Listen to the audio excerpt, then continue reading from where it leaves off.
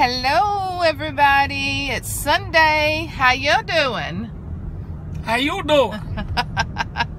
I'm doing pretty good. We went to church, been to eat, went to Best Buy, and we're going home. Today is the 20th of December, and I have not addressed any Is it Christmas. the 20th already? Yes. And I have not addressed any Christmas cards. What is wrong with me? Blah. And I'm taking my great niece and nephew shopping tomorrow. So I need to get my butt home and address invitation. I mean invitations. now I'm not inviting anybody else to the house. We've had plenty of people there, haven't we? I'm just shaking all over the place. Uh, we've had two big parties, so they've been great. Address Christmas cards. You're making me just move all over the place. I need it up there on my stand.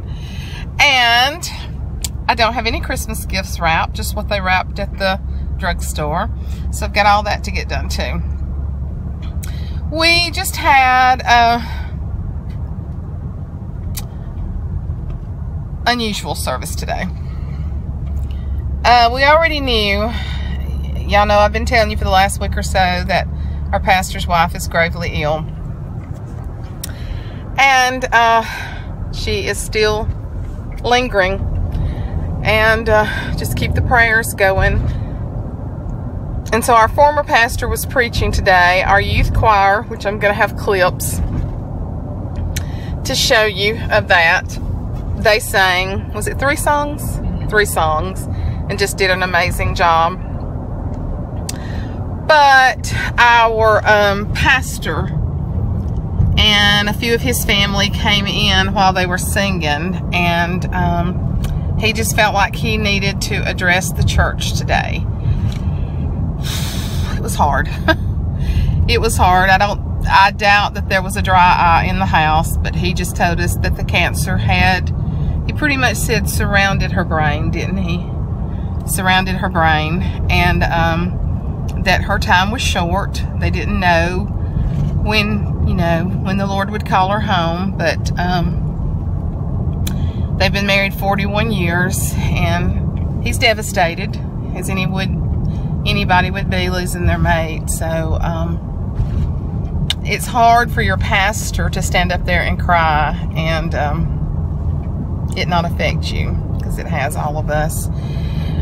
But the amazing thing, and I believe, I really believe this is a result of prayer. She has cancer in the brain. She has cancer in other places in her body. And she's on no, medic no pain medication at all. And she has no pain. I asked my daughter a while ago, who's a nurse, had she ever heard of that? And she said no. Now, y'all may have known someone that's gone through, you know, the last stages of cancer, but I know usually they're pumping them with morphine because of the pain. And she's on no medication and no pain. So we went to see her last night uh, when we came in. We'd done Christmas shopping yesterday, and so we just felt you know, the need that we needed to go by and see her. And she can't speak. She is at home. She can't speak, but she did know who we were. She definitely knew who we were. So, um, she, um, you know, would raise her eyes and, and, and make facial expressions. And of course, we only talked to her for less than a minute. So, and just, um, our, one of our local nail artists who does her nails came over yesterday and did her nails, which was a beautiful thing. And I picked her fingernails up and I said, you got that bling going on on your fingernails? Because she's like me, she loves bling. And then uh, a Santa Claus came to see, all their grandkids are there. So Santa Claus came yesterday also and spent some time with the with the children, and they've got pictures of her because she Christmas is she's like me. Christmas is her favorite holiday. So it's just a very difficult time, but the church family's been there and then their family is coming in and there for them as well. So, um, but it was, it was heart wrenching to hear our pastor stand up today and to talk about her. And he wept openly and he's taken a leave of absence as he needs to, to be with her every moment because, I mean, she could go tonight and she could go several more days. But he made a comment today, and I've heard him say this before, and I had forgotten it, that we pray for people to receive salvation so that when they die, they will go to heaven. And then when somebody gets ready to go to heaven, we're praying for them to stay. And we do that. I mean, that's human nature, is that we don't want to let go of them. Of course, during sickness, we also know that we pray for healing. And then we have to accept, you know, what is God's plan. Our days are numbered and, and He knows. He knows. And we just, when circumstances are bigger than we can understand, we just have to say, through the storm, Lord, I'll praise you and I'll trust you. So um, he left after he addressed the congregation. He left, and then our former pastor preached and just preached a beautiful sermon. Beautiful sermon. Just brought out so many points about Christmas, different things that, you know, we just don't always hear. Uh, just a different perspective. And I know I'm just bouncing all over the place here. But I want you to make sure, if you don't get to listen to all of the video, make sure and fast forward to the last song. They're all very good. But the last song that the youth did is uh, We Need a Revival. And it was a beautiful song, and you'll hear me praising the Lord on there. And um, I wanted just to put the camera down and just lift my hands and praise the Lord, but I also wanted to videotape it too. So make sure and listen to it. We have some beautiful young people and they were all dressed out in their plaid today and they really worship the Lord. And this is hard on them. And the young man that sang the last song, he's our minister of music. Um, we really have two. It's him and his wife. They both are very active in it. But it's their son, and they are very close to Sister Pam and them. And I know, did you notice that it seemed like it was hard for Micah to sing with Pastor being there? I could tell it was uh, emotional for him too. And so I think he's 15 now, but um, he just did a, a, beautiful job on singing. So make sure and listen to all the music so that you can get to the last song. Um, and I know that I've said a lot about this, but um, you know, this is this is my life right now. And um, I know that a lot of, you know, different people are going through some hard times and we just need to lift each other up through this holiday season. The holidays are always not merry and bright for everybody. And um, as we were discussing last night, death knows no date. It doesn't matter if it's Christmas or a birthday or an anniversary or what it is. It it doesn't know a date. So, but um, but we had a beautiful service, and as our pastor was leaving, the church stood and applauded him all the way out the side door and that I know was just like our former pastor got up and said it was just like we were hugging on him when we did that. So we're behind them, we're praying for them, we're supporting them. And but we know that when she takes her last breath on this earth, she, she takes her first breath in heaven. And what a beautiful assurance it is to have that. If you don't have that assurance, you need to talk to the Master. You need to talk to our Savior because people that lose people on this earth, but they know where their souls are going, they have hope. They know that they will see them again. I've got so many loved ones over there now. It just, heaven is very sweet. Very sweet. And with the things that we're facing here in this world, heaven's really sweeter all the time, isn't it, John? And so, um, but anyway, we're going home. I'm going to address some Christmas cards. Wrap some Christmas presents. Wrap some Christmas presents. Oh, let me tell you, this man, yes, you, this man is impossible to buy for. impossible. Oh, that truck just ran off the road, didn't it? No, he just straight. He just what? He's getting it straight. Yeah, he's getting it straight now after he ran over that rough spot. But anyway, he is impossible to buy for. Can't please him he just, oh my gosh. My daughter, our daughter and son-in-law has bought him stuff and it's still in boxes. And so we've got five deer that goes across our our drive our, our yard all the time in the woods behind us. There were three and now there's five. So the uh, Reed, our oldest grandson, loves, loves, loves. He's seen them one time, but um, so we were talking about it would be neat to have a deer camera so Reed could see pictures of it when they're when he's you know when he doesn't catch them and John's already been feeding them some So I thought, I'll get John a deer camera and get him a feeder, and he'll love that with the boys. And I thought, man, I've done so good this year. and I drug it in the other day. I mean, it's not big, but the, the feeder is kind of big. But I drug in a bunch of groceries and I took it and I hid it in the closet and I covered it up. So he comes in yesterday morning. I'm sitting on the couch and he said, Well, I've done some shopping this morning. I went and bought Reed a deer camera. I can't tell you what I said to him. it was not very Christian. oh, I was so mad. I was, and see, I'm so transparent. I mean, he would have been, he said, you shouldn't have told me. Well, if you'd looked at my face, you would have known. I was sitting there and I was going, John, John, really? Really? So, yeah, he went and bought a deer camera. There's one in the closet. So, anyway, but he says we can have two. So he's going to keep that one. Or you need to take that one back. Get some money back. Gosh, we've spent so much money. Might not be a bad idea. Might not be a bad idea just have one right now and take the other one back. But yeah, so Stinker over here knows what his present is under the tree. We'll take the expensive one back. I think we paid the same amount for them. I got mine on sale. You did? Okay, we'll compare them and then we'll take the expensive one back. So anyway, he has no surprises under the tree because he's very... Which is no surprise. Huh? That's no surprise. Yeah, but I always try to surprise you, but you're impossible. You're a mean one, Mr. Grinch. anyway, I thought I'd done so good, and I did do good. I did so good that we were thinking the same thing. That means you've been married a long time, doesn't it? Yeah, you just didn't think about the right deer.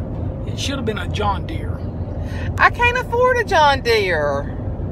We just bought You're a new. a mean one. Mrs. Grinch. we uh, just bought a new central air and heat, and then we got tires on the car last week. so anyway, yeah. So anyway, he knows what his Christmas present is, but he doesn't know what Ashley Michaels got him. But let's see if he likes it. Who knows? Who knows? Anyway, but anyway, I've rambled on too long. I want you to make sure and listen to this youth. I am not. Hush. You, you admitted it yourself. I'm ready to get home, get him in the recliner. Um, I'm gonna put the music on after this. I'm going to the shop. I'm not going to the recliner. I'm going to the shop. You going down with the guys? Yeah. His brothers hang out in the shop, and Lord, there's no telling if he's a Burnwood. burn wood and sit around and tell lies. Play backgammon. play back. Y'all play backgammon? Yeah. Well, I didn't know that. Y'all don't play poker no more. Nobody's got no money. Nobody's got no money. They used to play poker with what nickels and dimes and quarters. oh no. Oh, dollars. Yeah. Oh, okay. See, you see what I know. But anyway, he's going out the shop. So I'm going home. My pajamas will be on as soon as I get there, and I'm in for the evening. So, but anyway, it's been a good, it's been a good Sunday, and um, it's been sad, but it's just, you know, I, I told him I cried all my makeup off. Um, we love our pastor. We love Sister Pam. It's a hard time, but you know what? I'm so thankful that they've got us during this time because they're here and their family's out of state. So, of course, all the family's with them right now, but um, we're here for them and we love them. And I told him last night that a lot of you on YouTube had said you were praying for them. So, just keep it up for the peace of God to be with them and um, listen to some good music by our young people. Love you guys. I've been chatting every day. I said I wasn't doing Vlogmas, but evidently I'm doing something. So uh, I'll talk to you later. Bye bye